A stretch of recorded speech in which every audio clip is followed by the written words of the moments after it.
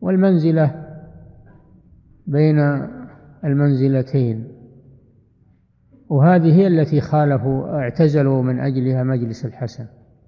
لما سئل الحسن رحمه الله عن مرتكب الكبيرة ما حكمه؟ أجاب بما عليه أهل السنة والجماعة لأنه مؤمن ناقص الإيمان. المؤمن ناقص الإيمان.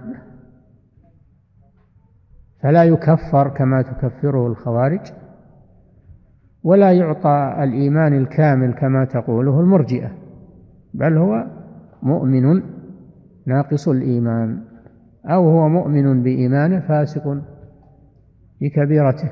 لما أجاب الحسن بهذا الجواب قال وكان تلميذا له في الأول كان واصل تلميذا للحسن.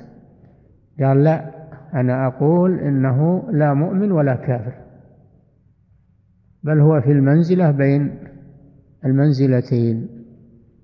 يخرج من الإيمان ولكنه لا يدخل في الكفر فهو بالمنزلة بين المنزلتين لا مؤمن ولا كافر. فإن مات ولم يتب فإنه يكون خالدا في النار كما تقوله الخوارج.